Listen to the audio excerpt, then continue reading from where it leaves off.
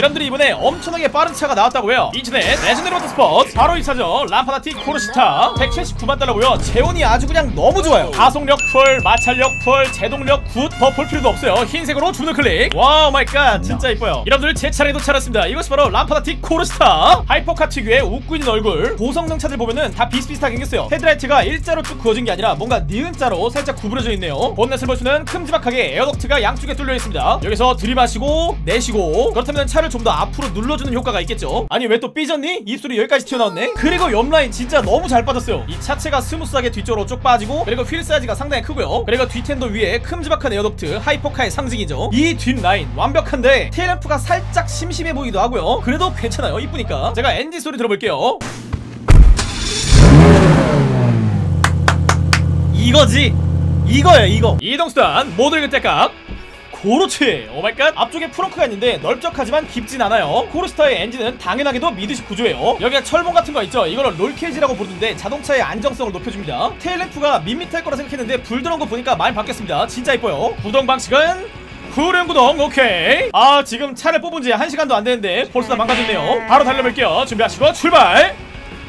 출발 출발 이게 후륜 구동인데도 불구하고 그렇게 많이 차가 흔들리진 않습니다. 땅을 꽉 잡고 출발하는 느낌. 지금 안정성이 굉장히 뛰어나요. 지금 보시면은 122마일 121마일. oh my god. 개조를 안 했는데 120마일이 나온다? 좋은 차입니다. 제가 바로 핸들링도 볼게요. 여기서 왼쪽으로 잘 돌아요.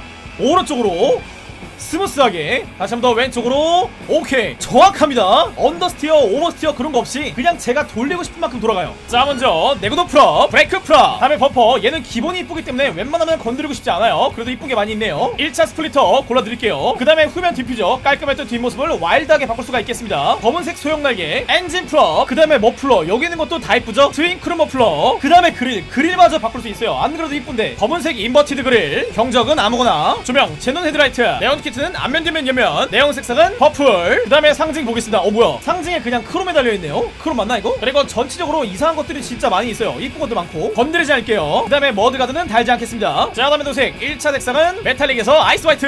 그 다음에 2차 색상은 metallic에서 carbon black. 그 다음에 trim 색상을 보겠습니다. 크림 골라드릴게요. 다음에 지붕. 보시면은 색깔을 아주 그냥 자유자재로 바꿀 수가 있겠습니다. 굉장히 이쁘게 많이 있어요. 2차 GT roof 골라드릴게요. 그 다음에 스커트. 이것도 마찬가지로 이쁜 친구들이 진짜 많이 있습니다. 1차 street 스커트 그 다음에 splitter racing splitter 골라드릴게요. 이번에는 스포일러 얘는 기본적으로 스포일러가 없었어요. 그렇다면 여기서 큼지막한 거 하나 달아드릴게요. 검은색 GT 스포일러 그 다음에 차광띠 이거는 여기에서 건드리지 않을게요. 서스펜션은 가장 낮게. 트랜스미션 full up 그 다음에 트렁크를 보겠습니다.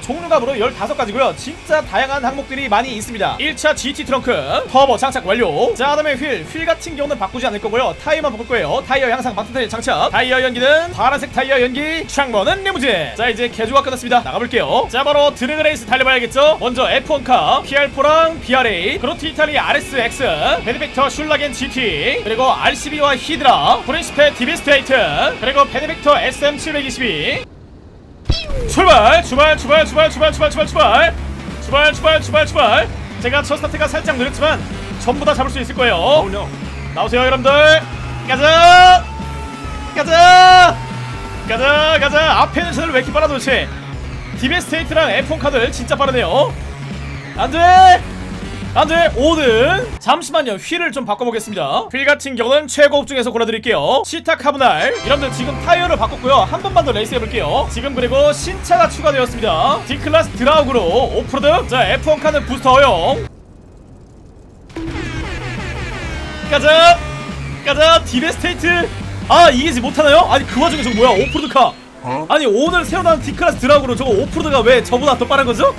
이거 문제 있는 거 아니야? 어?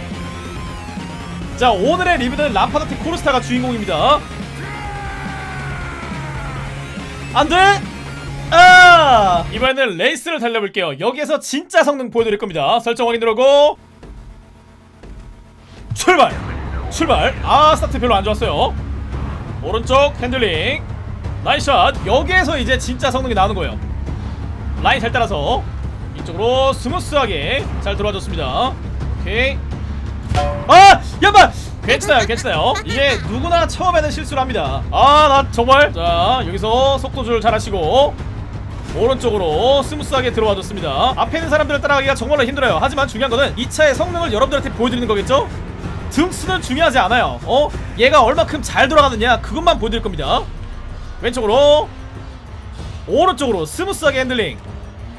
성능이 진짜 너무 좋아요. 오른쪽. 오케이. 어 이 사람들 뭐야? 그래서 왼쪽으로. 그렇지. 잘 넘어왔습니다. 브레이크 성능 아주 그냥 너무 좋죠. 아 잠깐만! 와 여러분들. 10등에서 5등까지 끌어올렸다가 다시 7등으로 떨어졌습니다. 여기까지 mission clear 여러분들이 이번에는 오프로드 레이스 한번 해볼게요. 저희가 여기서부터 저기 멀리 군사기지 보이죠? 저기까지 갈 겁니다. 출발 출발 출발 출발 출발.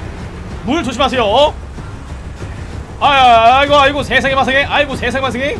이게 흙길이라서 조금 미끄러지네요.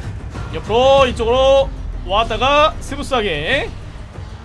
물이 얕은 곳으로 넘어가야 돼요. 얕은 곳으로. 여기서 아 지금 위험해. 안돼. 지금 가면 죽는 거야. 다시 돌아가 제발 제발 제발 제발 제발 제발 제발 제발 제발 제발 제발 제발 제발 제발 제발 제발 1등 토레아드로 2등은 아레나 도미네이터 3등은 드라우그로 이쪽으로 아 지금 균형이 많이 안 잡히고요 자세 제어가 안 돼요 왼쪽으로 쭉쭉쭉쭉 아 이거 정말 달리기가 힘듭니다 오프로드 안 돼요 타이어를 오프로드로 바꾸지 않는 여기는 달리기 힘들 것 같습니다 그렇다면 이제 종합적인 평가를 듣고서 마무리 짓도록 하겠습니다 여러분들이 이 차량 같은 경우는 밸런스가 정말 좋아요 자 그렇다면 세팅이었습니다